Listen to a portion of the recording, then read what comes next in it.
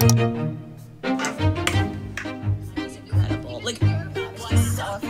a beauty secret. Really great products don't have to cost a fortune. What's your Instagram and how many followers?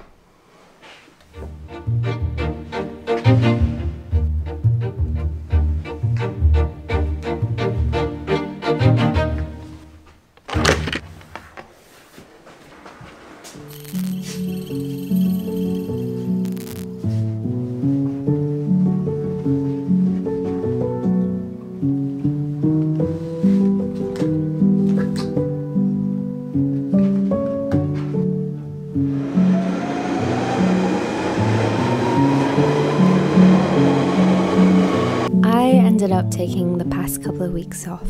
Not necessarily on purpose or by choice. It's kind of hard to do that when your job is a creative one. You start to feel this creeping guilt like you're wasting precious time, but honestly, I kind of felt like I had nothing more to say. And when it came to sitting back down at my desk, it felt pretty overwhelming. Kind of like all the expectations I'd ever set for myself were just sitting there, waiting to pounce, and it's this cycle of getting stuck and unstuck, and it happens to everyone as part of the process, but it feels like failure at the time. There's this constant pressure to produce and create something new, something better, but at the end of the day, we are not robots and we're not meant to function like them.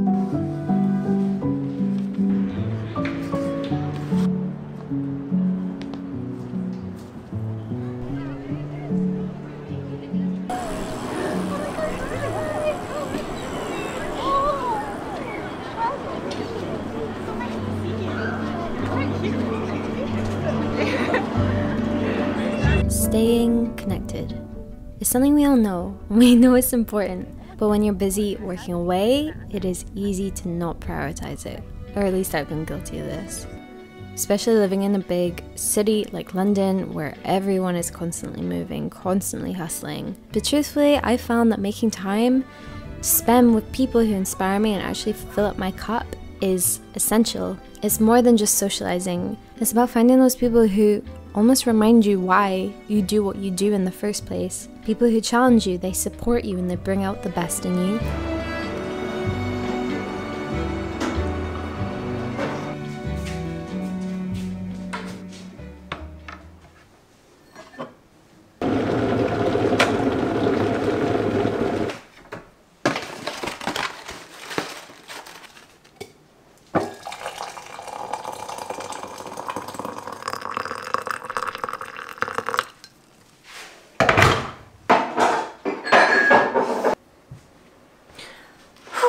Okay, let's talk about it. I think a big thing I've been struggling with recently has been FOMO uh, and comparison, and that's kind of a deadly combo in summer, but I know I'm not the only one. And let's face it, summer, if you're in the UK right now, you know summer has not been very summery. I've been really guilty of literally the past few months just in a state of like waiting for life to happen, waiting for things to get better before I can feel happier. To bring it up, honestly, as a reminder that everyone has their down days.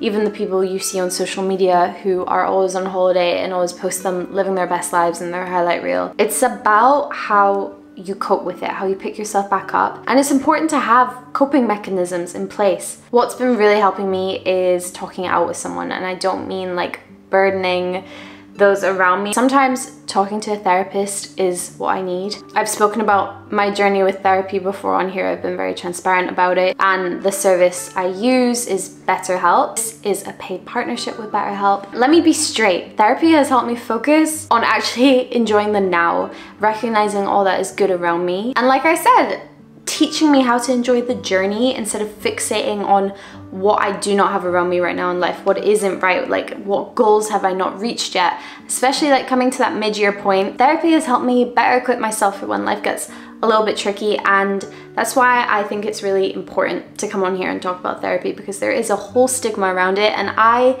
fed into that. I used to think like therapy was reserved for those who had been through serious trauma. It was not for anyone the likes of me. I truly believe anyone can benefit from therapy. So BetterHelp connects you with a credentialed therapist who is trained to listen and give you helpful unbiased advice. First up, all you gotta do is go to their website. You can actually use my link betterhelp.com forward slash Becca Watson. You answer a few questions, it does not take that long, and BetterHelp will match you with a professional who has years of experience. What I love and what has always seemed so daunting to me with therapy is having to leave my home and go talk to a stranger and go to their office in person. I don't know why, like that just does not sound very appealing to me. For me to really open up and feel my most comfortable, feel my most safe, I prefer to be at home and I prefer to have those conversations over video chat or you can even message your therapist. That's something I love about BetterHelp. You can literally do it all from just your phone, your computer. Therapy is such a personal journey and I think BetterHelp have really considered that with their service. So after you filled out the questionnaire, you will be matched with a therapist within usually 48 hours. If you do not click with your therapist, which absolutely happens, you can switch your therapist at any time at no extra cost. So let BetterHelp connect you with a therapist who can support you all from the comfort of your own home. Simply visit betterhelp.com forward slash Becca Watson. Or you can always just pick my channel name, Becca Watson, in the sign up process. Make sure you do that so that you can enjoy a special discount on your first month. It is always such a pleasure partnering with brands I truly believe in that I absolutely love using myself. And so thank you BetterHelp for working with me on this part of the video.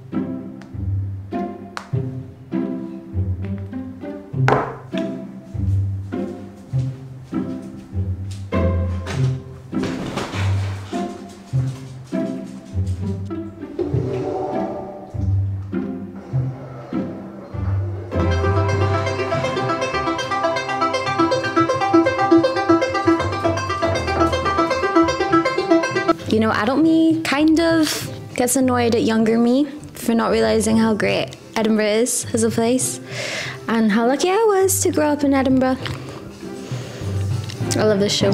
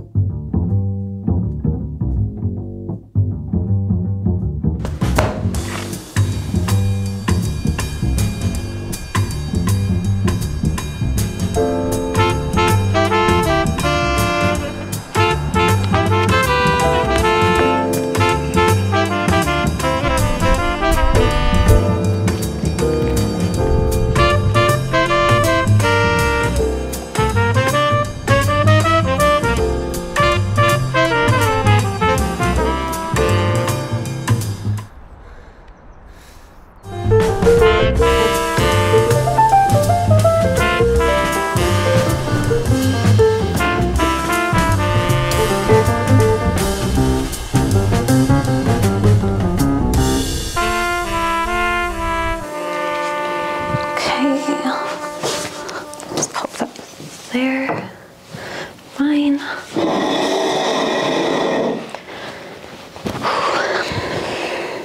I think there's something a little scary about starting something new in your mid 20s and maybe documenting it, being a bit open about it, opening yourself up to criticism and judgment. I find it so funny that I think back to when we're all 16 and we're picking what you do after school. Like, which degree do you go do? Do you go straight into a job? It's almost like you should absolutely know what you want to do with the rest of your life. I think we're quite bad at like not allowing space for people to kind of venture into other things. And so here I am trying something new. It's kind of normal to feel like you're going through a bit of an identity crisis in your 20s. I feel like a lot of us go through it. Judging ourselves, comparing ourselves. it's hard. And telling ourselves that we're probably not good enough for that thing. So coming away from it before we've even tried, I don't want to get to that point where I ask myself, what if? But how do you really get to know you without trying new things.